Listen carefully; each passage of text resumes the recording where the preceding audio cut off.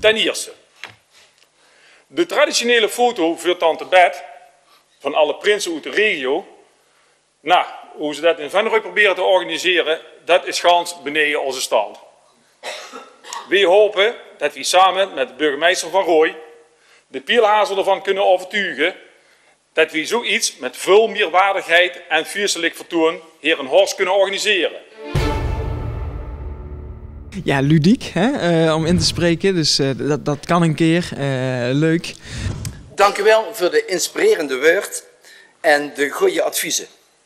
Het idee is eigenlijk ontstaan uh, carnavalsdinsdag. Waarbij we zoiets hadden van ja, god, morgen moeten we de sleutel terugbrengen. Uh, dat is veel symboliek, maar minder inhoud. Rotsleden mogen wat dukker onder de mensen komen. In het kader van het project En de Goeie Rood voor de Rood bieden we rotsleden de mogelijkheid een volgend jaar een dagstage te lopen bij de Rood van Elf. Om zo contact met ons inwoners weer te verstevigen. Want het is natuurlijk een heel indrukwekkend plan gepresenteerd. Ik had u nu kunnen vragen om binnen 11 dagen te komen met een plan om de organisatie de komende 11 weken op te leiden, om de komende 11 jaar dit allemaal te gaan implementeren. Leuk initiatief. Uh, wat mij betreft mogen er vaker dit soort initiatieven in onze raadsvergadering plaatsvinden.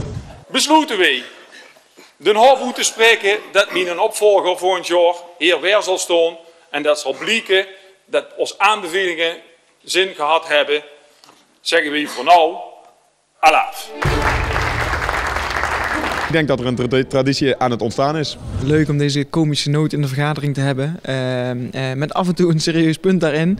Ik denk dat uh, alle punten die met een serieuze ondertoon aan ons als raad of aan het college worden, worden toegezonden, meegegeven, dat die, dat die serieus worden meegenomen in de afwegingen. Dus ook als het in zij, zij met een kwinkslag, zij ludiek, wordt gedaan. Zal de raad ook met deze elf punten aan de slag gaan? Uh, waarschijnlijk niet te verwachten, een paar puntjes misschien wel. Het is gewoon een ludieke uh, wijze om het onder de aandacht te brengen. Wat ons betreft is er een nieuwe traditie geboren. Allah.